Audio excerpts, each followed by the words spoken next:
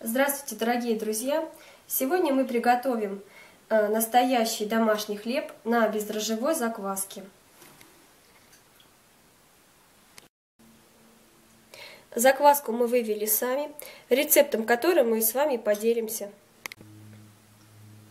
Для хлеба нам понадобится мука первого сорта и ржаная мука. Ну и, конечно же, соль, э, разведенная в воде. Для того, чтобы хлеб всегда получался вкусным, я э, соль всегда развожу в воде. Вода должна быть немножко подсоленая. И потом ее просто вливаем в тесто и все. Итак, ребят, замешиваем тесто. В первую очередь я вливаю закваску.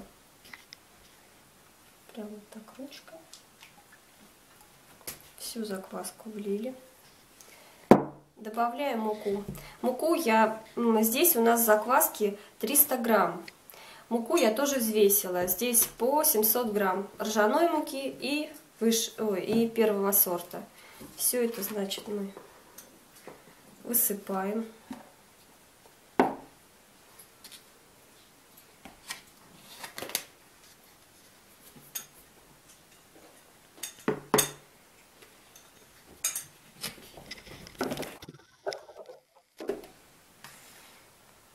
Немного муку э, соединяю, пер, э, первый сорт и ржаную. Вот, делаю такую вороночку и вливаю туда воду. Воду я использую э, теплую, чтобы наш хлебушек быстрее подходил. Прям вот так на ручку льете и вымешиваете. Считаем этот рецепт э, замеса теста классическим. Но как вам нравится, вы можете регулировать соотношение муки сами. Либо больше ржаной добавить, э, либо первого сорта. Кто хочет на высшем сорте делайте, пожалуйста. Хотите, добавляйте сюда э, разные пряности прямо в тесто. Либо сверху посыпайте, украшайте. Короче, на ваше усмотрение, на вашу фантазию. Также можно добавлять молочную сыворотку. Либо если у кого там остается, можно добавить молочный какой-то другой продукт. Вот, ребят, смотрите, на то есть полтора килограмма муки у нас вот вошло, э, вошла одна литровая банка воды. То есть можно прям смело больше, больше половины банки вливать воды и вымешивать. И еще хочу сказать, что ржаная мука э, больше поглощает воды, нежели другой сорт. Тесто мы вымесили. Теперь я его сверху просто смочу водой.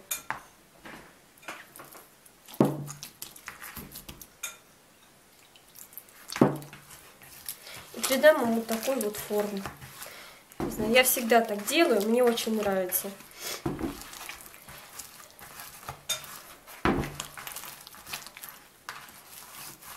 такой колобочек делаете.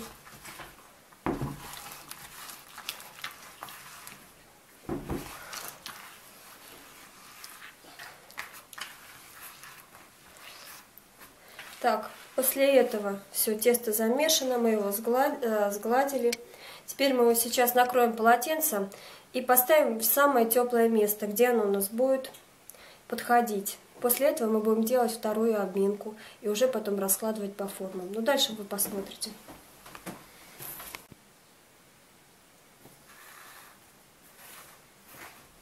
Продолжаем делать наш хлеб. Прошло 3 часа. Сейчас возьмем мы наш хлебушек и обомнем. Я вот, ребят, всегда использую воду. Мне удобней водой его обминать. Видите, уже тут появились такие пузыречки. То есть он начал подходить. Стоял у меня в теплом месте. Поэтому прошло 3 часа. Может быть, он у вас и подольше будет подходить. Сейчас я его обомну.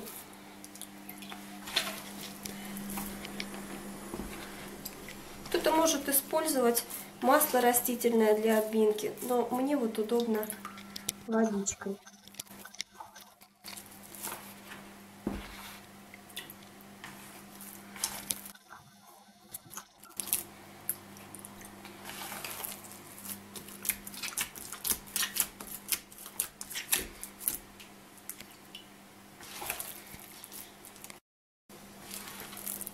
Тесто стало более эластичным. Закваска наша стала подходить уже. Сейчас я это все выровняю, хлеб. Я обычно так делаю. Выравниваю. У меня вот э, приготовлено 4 формы. Круглой и две формы квадратные. У кого нет форм, ребят, можно выпекать э, либо на противне, э, либо в сковороде. Я рекомендую одну-две обминки для того, чтобы тесто набрало кислотность от закваски и более был лучше и вкуснее выраженный аромат нашего хлебушка. Итак, начинаем разделывать хлеб. Я это делаю так. Беру руку и вот так пополам делю наш хлеб. Начал вторую ручку. Выбираю одну часть хлеба, одну четвертую.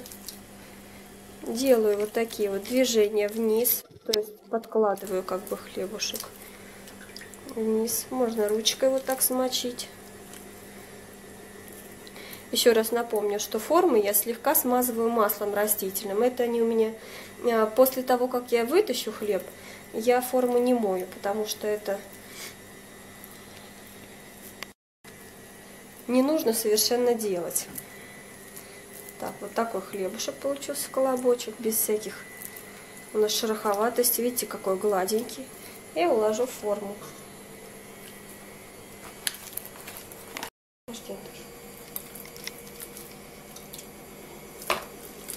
Тоже вот так сглаживаю. Ручкой можно вот так замять. Видите, получается красота такая. И форма.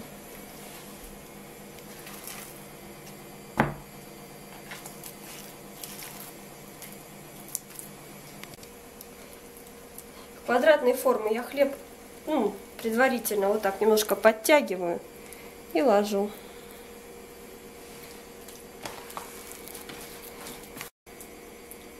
Водой удобно пользоваться. Э, тесто к рукам не прилипает, как видите. Ручки чистенькие. Так, выложили. И водичка я сейчас все еще раз промочу. Выровняю форму. На подовом, ребят, хлебе, когда вы будете делать, вот так вот не надо обминать. Это я просто по форме выравниваю. Чтобы наша посыпка хорошо а, легла на наш хлебушек, поэтому я ее чуть э, смоченную у нас берем. У меня здесь э, тмин зерно, можно кориандр, ну, любую посыпку, зелень какую-нибудь посыпать, либо семечками сырыми. Просто вот так посыпаем для аромата. Что есть, то и посыпайте. Это придаст хлебу такой очень красивый, приятный вкус и вид. И еще сверху мы посыпем ржаной мукой. Буквально чуть-чуть.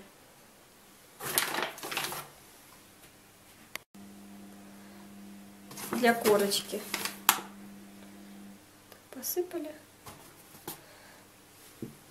Все, теперь наш хлебушек отправляется на расстойку.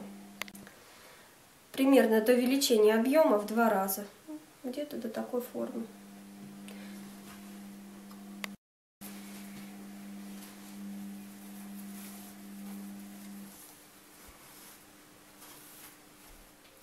Итак, ребят, наш хлебушек подошел. После обминки и раскладывания по формам прошло где-то часов 5. Э, сейчас мы его поставим обязательно в разогретую духовку. У кого есть э, увлажнение в печи, можете э, добавить в начале пар. Выпекаем при 200 градусов. Примерно 45-60 минут, в зависимости от объема хлеба. Если у вас обычные духовки, то под низ можете поставить воду для увлажнения. И минут за 15 до конца выпечки. Вот и наш хлебушек испекся. Посмотрите, какие красивые подрывчики у него получились. Вот такие вот. Готовность хлеба, ребят, проверяйте вот так. Он, то есть, звучит как барабан. Слышите? О, как барабанчик. Вот он, готовый хлеб. Еще хочу сказать, э, что если вы хотите э, делать хлеб, начинайте его делать с самого утра. 5-6 часов, потому что у нас ушло на вот это приготовление где-то около 10 часов. Всем приятного аппетита! До новых встреч!